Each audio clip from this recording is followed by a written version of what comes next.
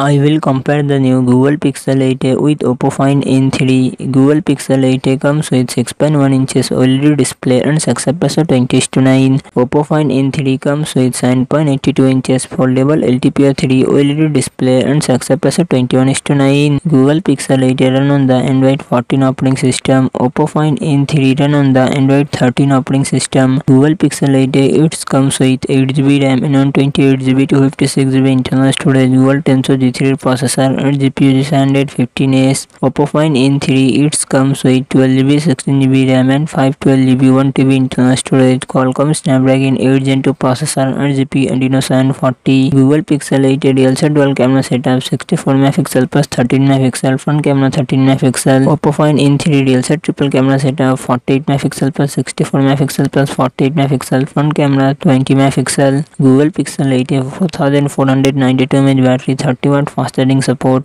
Oppo Find N3 4805 mAh battery 67 watt fast charging support